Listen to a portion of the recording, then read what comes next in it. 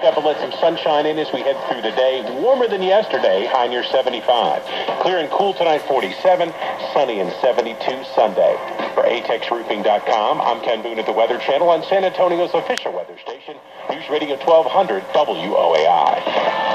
Cloudy skies, 59 degrees at News Radio 1200 WOAI. President Obama